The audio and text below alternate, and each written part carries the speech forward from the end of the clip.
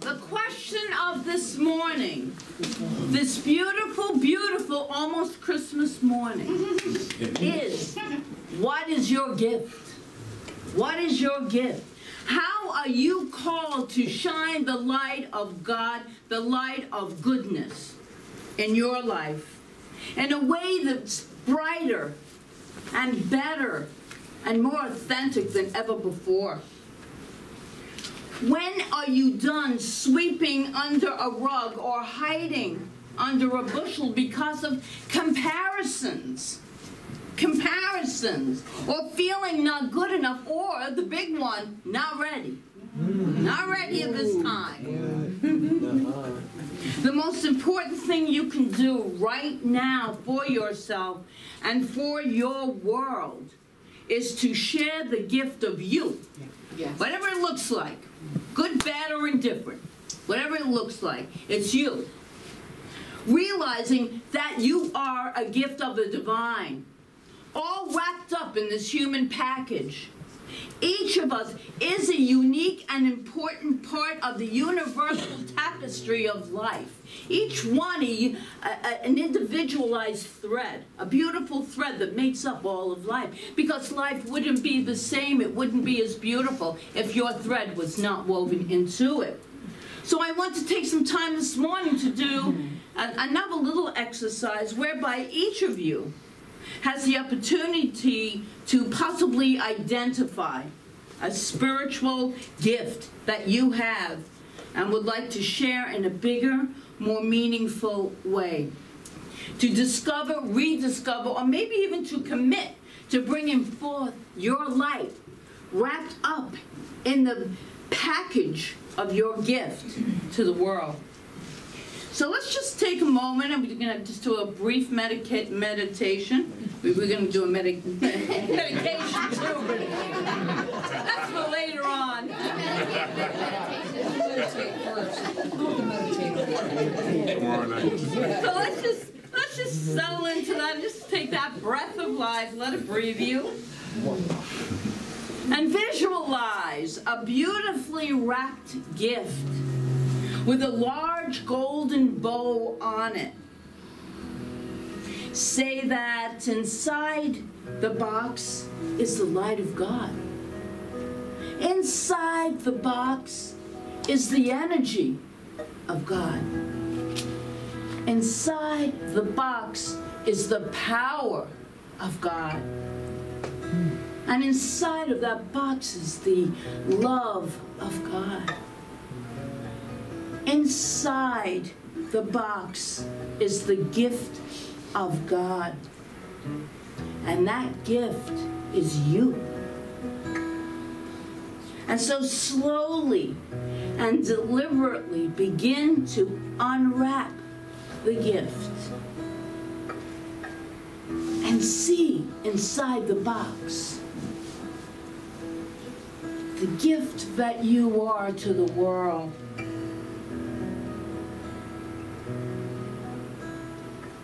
Get very clear and specific about it. And in other words, saying, I am the gift of love is great and wonderful. But let's put some teeth into it by identifying one way you are going to share that gift. Use that gift, put that gift into action. Whatever that gift is of you. If it's a beneficial presence, how are you going to show up in the world as that beneficial presence? Is there a phone call you can make, a volunteer position you can take? Say you're going to be a life coach. What's the step you can take in that direction to fulfill that? To bring into the world greater ways. And if you like, you can put a date on it by such and such a date. I will have developed or finalized some kind of step, protocol,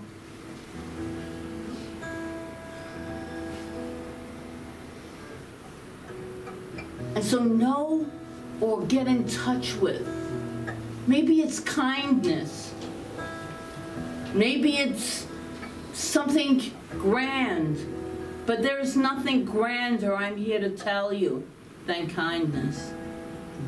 So maybe that kindness is a smile. Are we sharing it with the world? So take another deep breath. Bring it back into this room along with some kind of sense or complete revelation of what your gift may be. Now, like any gift, you're not to just put it away on the top shelf. It will do no good, right? That is the gift that you identified this morning is like if you don't use it. It's like putting it away for another time on the top shelf of some closet. If you leave here this morning and say, that was an interesting experience, and leave it at that, you might as well have just stayed home and slept in or baked some cookies or something. Because this is about, it's about deepening into our spirituality, and more than that, that spirituality is why we are here. We're here to express the light of our own being. And so when we can get a sense of what that is, if we don't have a full concept of it, until we can get a sense of it, we cannot take any action. And that action is necessary to fulfill why we are here. Why we are here.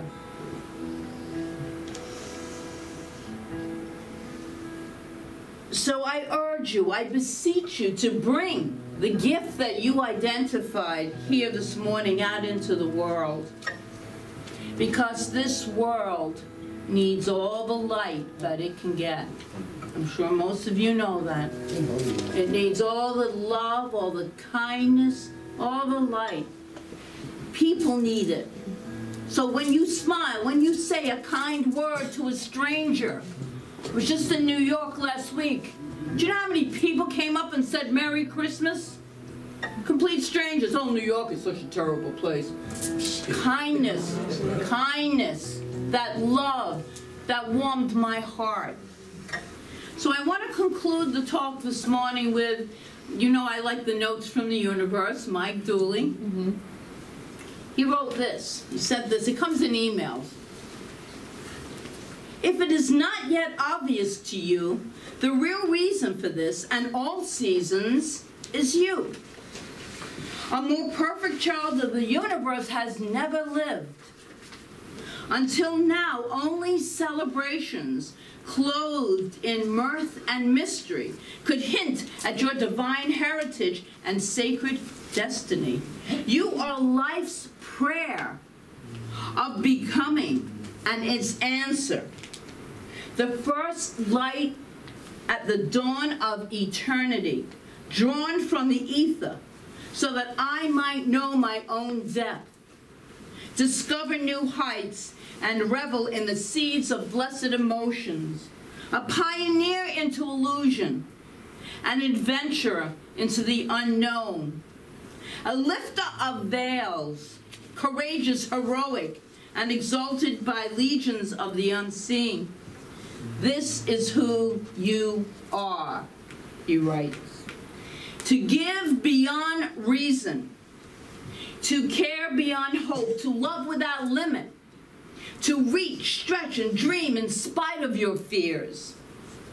These are the hallmarks of divinity, traits of the immortal, your badges of honor. May you wear them with a pride as great as what we feel for you. Your light has illumined darkened paths. Your gaze has lifted broken spirits. And already your life has changed the course of history. This is the time of year we celebrate you, bowing before greatness, the universe. They're always signed the universe as it's writing to you. So whether you received, received the seed of a gift this morning or the whole plant was revealed to you, the gift is, no matter what you might think, is that you are a divine being of light itself. You have been created out of magnificence. How then, therefore, can you not be a magnificent creature? How in, in, in essence, to the core of our being, I'm not talking about all the human little dramas that we have going on and that we make up in our heads. I'm talking about the essence of who we are. Each and every one of us has a light to share. It's pure and it's within us. And it needs to be revealed to first ourselves, and that's awareness, and then it can be shared with everyone we come in contact with. It is our gift. It is our magnificence. It is, it is selfish not to share it. So I am, I am so filled with gratitude for this community and for every aspect of it in all of its beauty and glory and love that I feel every Sunday. And I want us to remember, all of us, that God gave us a magnificent present. Who are we not to share it with the world? The greatest present you will ever receive is yourself, the gift of you. And so that's the greatest gift for Christmas.